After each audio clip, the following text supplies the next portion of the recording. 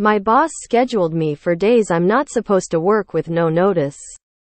What do I even do here? My boss randomly told me by the way. You're scheduled for every day you're off this week and off every day you are scheduled. I have three days off a week. Because school because a coworker took the week off. He didn't ask me. When I told him I couldn't he said you'd better give me an actual reason and told me that schedule changes are just life and that school and existing plans come second.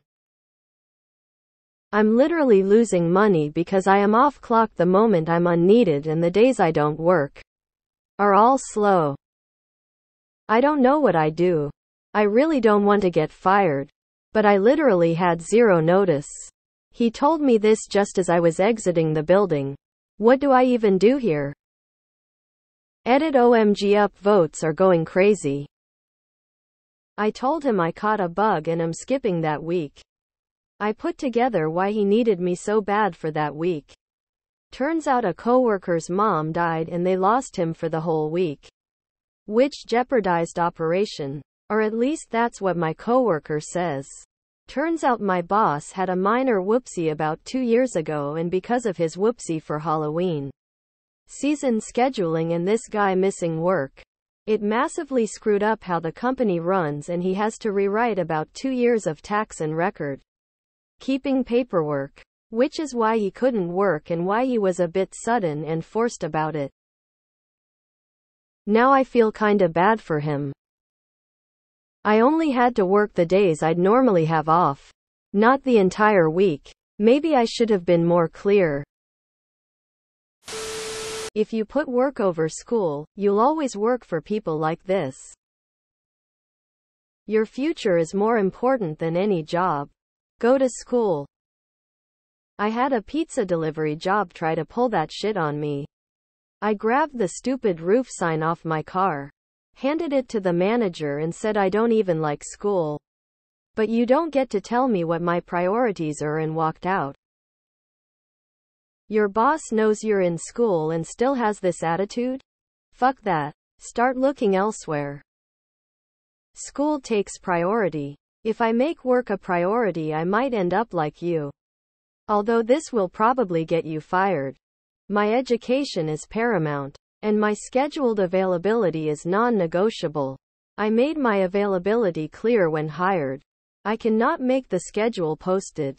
Sorry for the inconvenience. And leave it at that. Regardless what grade you're in, school should come first. You aren't just taking classes while working full-time plus a part-time job. Right? Just because work is primary for your boss. That doesn't make it primary for you or anyone else who works there. Tell your boss that you can't work because school is primary for you. He needs to figure out how to cover for the employee who is off. School is working towards a career. This is just a job. I won't be in. Boss is taking advantage and trying to strong arm you. Just tell the guy you have prior engagements and that you aren't available. MFER doesn't need any excuse. School absolutely doesn't come second. Tell him you would love to be flexible but can't work due to previous obligations.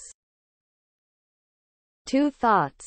If you've worked there long enough and get fired, file for unemployment. They can't change your agreed upon schedule and then say you quit. And if you're feeling brave, make a media complaint, especially if you have texts to prove it. If you don't try and get them, just lead off with a confirming my schedule as you know I have class on these days. I had this problem when I was younger. Inform him this I'd my availability. We agreed on those hours when I was hired. Those are the only hours where I can work. If they push back, say you can fire me if you need to. This is when I am available because you can get unemployment if they fire you but not if you quit. Don't let them convince you to quit. It is amazing that it is always the managers of some retail fast food restaurant that act like their business is a Fortune 500 company. Working there is an opportunity afforded to select few, and the minimum wage they offer is CEO pay. 1. Your education is more important. Do that. 2. Check your local laws around scheduling. It's likely your employer must have a posted schedule one week in advance. You are not obligated to come in on notice shorter than what the law requires. If you get fired over it, sue for wrongful termination. Told me that schedule changes are just life and that school and existing plans come second. Goddamn clown. If you're in school, am I right to assume you live with parents or a dorm that's already been paid for? If you really don't need this job to survive, just don't go. This is the moment you stand up for yourself and start building a boundary for yourself. If you let this guy run over you, you'll never lean to stand up for yourself. I say this because I have been in this position before. This is also a lesson his ass needs to learn. I provided my availability and you clearly ignored it. That doesn't suddenly make me available. As I am unavailable, I will not be coming in on days X, Y, and Z. If something special comes up where you'd like me to cover shifts outside of that availability in the future, feel free to contact me and, with enough heads up, I may be able to rearrange things to help you out. However, that will not be possible this time. School comes second is the dumbest take anyone has ever had. Okay, boss person. Clearly it wasn't important to you. But other people might want to better themselves. It goes family school work. You cannot concede on this. School and existing plans come second when it benefits him. What a dunce. That guy probably got slapped with the a stupid stick in life. Go to school, there's always other opportunities for work. Otherwise, he'll keep pulling that bullshit. If you get fired, make sure you have proof for unemployment. When I was in school, it waived my job search requirements then so I got paid not that it was a ton but either way.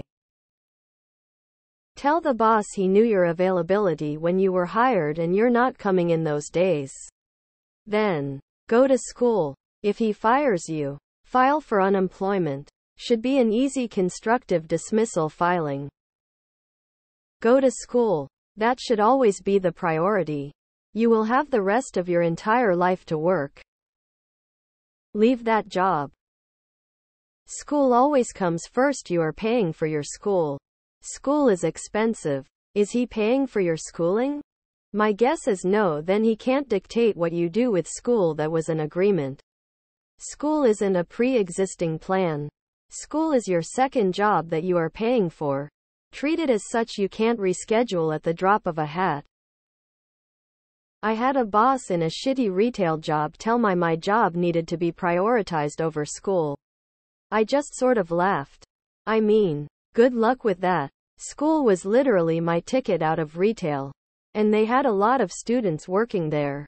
Let me tell you how many students are going to prioritize their low wage jobs over the college they are paying a great deal of money to attend zero. Tell him your school is just part of life and you'll not be there. Your schooling will build a career worth way more that one. School comes first his lack of planning is not your problem. Your boss, like way too many others, suffers from the idea that their underlings are basically slaves whose lives and plans are inconsequential to the needs of the business. He probably also talks about the team being a family, and your obligations to your coworkers as tools to manipulate you into feeling guilty. We are workers need to learn when we are being gamed or treated like lower class citizens. I have a personal policy to never miss a day of class. For any reason, I don't even hesitate to take a day off for school.